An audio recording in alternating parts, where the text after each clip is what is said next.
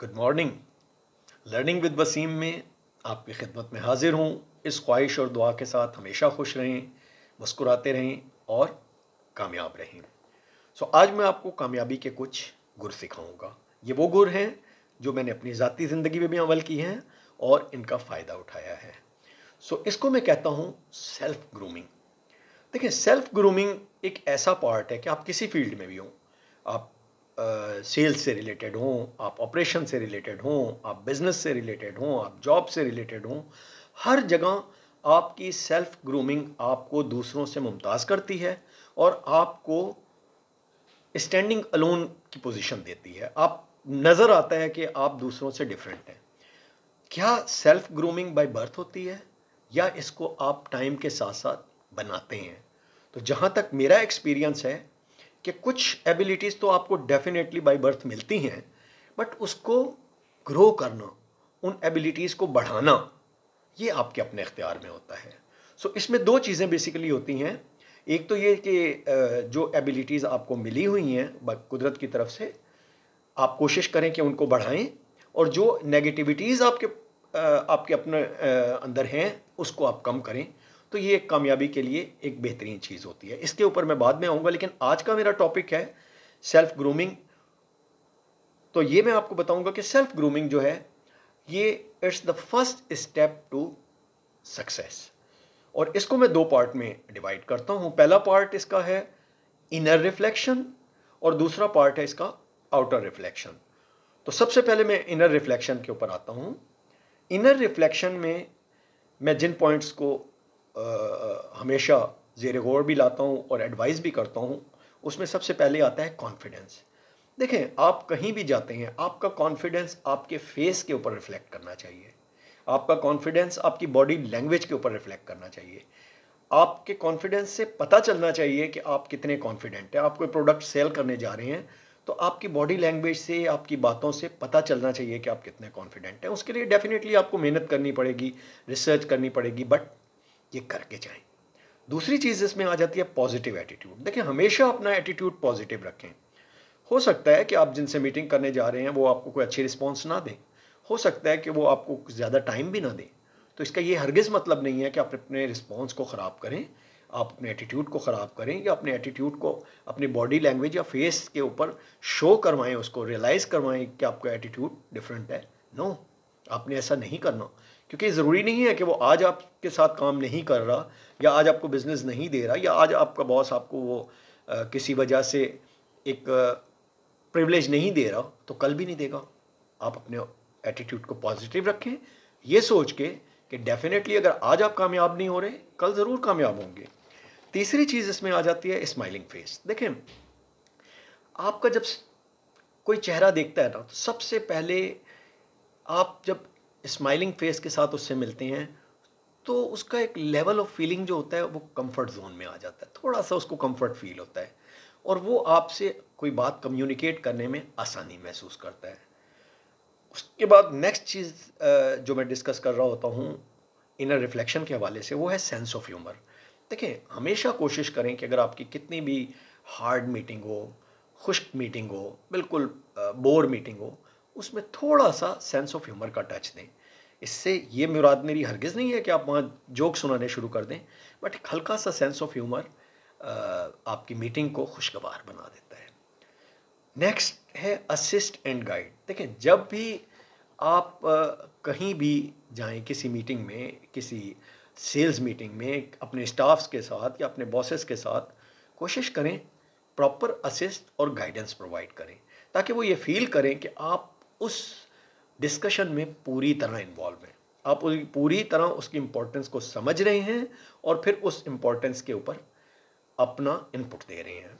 Next है जी team player हमेशा टीम प्लेयर बनने की कोशिश करें। देखें, अगर आप हमेशा इंडिविजुअल बनने की कोशिश करेंगे तो आप कामयाबी हासिल नहीं कर सकते। कामयाबी हमेशा आपको टीम के साथ ही मिलती है। तो हमेशा टीम प्लेयर का एक्ट करें, अपनी टीम को साथ लेके चलें, अपनी टीम के प्रॉब्लम्स को अपना प्रॉब्लम समझें और फिर उसको रिजॉल्व करने की कोशिश करें। Last but not the least can do approach हमेशा अपनी अप्रोच को कैन डू अप्रोच रखें। मैंने अक्सर ऐसा देखा है कि आप सेल्स मीटिंग में जाते हैं और वो वहाँ कोई मैनेजर आपको स्ट्रेट अवे बोल देता है कि, जी, मुझे तो रेट बहुत कम मिल रहे हैं, आपके रेट्स तो बहुत ज़्यादा हैं। या, आपका तो सर्विस ही अच्छी नहीं होती। आप कैन डू अप्रोच रखें। आप उसको स्ट्रेट अवे ये ना कह दें कि सही है, नहीं, हमारी तो होती ही बहुत अच्छी है। नो आप उसको कन्विंस करें कि आपकी जो जो नेगेटिविटीज़ हैं या जिन जिन चीज़ों से उनको प्रॉब्लम आ सकती है, उसको आप दूर करेंगे और टाइमली दूर करेंगे।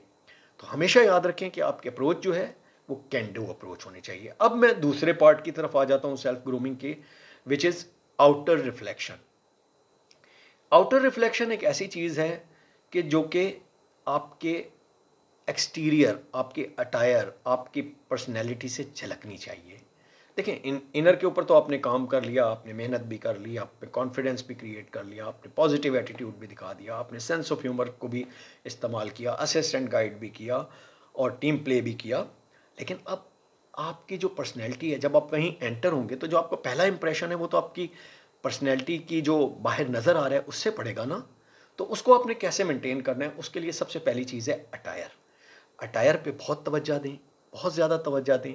आप जितने मर्ज़ी एक्सपीरियंसड हों, आप जितने मर्ज़ी काबिल हों, जब तक आप अपने अटायर पे तवज्जा नहीं देंगे तो आप उतनी कामयाबी हासिल नहीं कर सकते। क्योंकि अटायर ऐसी चीज़ है कि जब कोई आपको मिलता है तो वो आपसे आपका इम्प्रेशन एक कायम कर लेता है कि आपकी कितनी डेप्थ है, आपकी पर्सनैलिटी कैसी है तो ये पहली चीज़ है। दूसरी चीज़ है, जब भी किसी मीटिंग या किसी भी कॉन्ट्रैक्ट या किसी भी चीज़ के लिए जाएँ बी प्रिपेयर फॉर इट हमेशा उसके लिए पहले प्रिपरेशन करें, उसके लिए पूरी तैयारी करें। मुकम्मल आपका होमवर्क होना चाहिए, ताकि वहाँ जाके आप दाएँ बाएँ ना देख रहे हों। आप उसकी प्रॉपरली गाइडेंस कर सकें, उसको प्रॉपर जवाब दे सकें।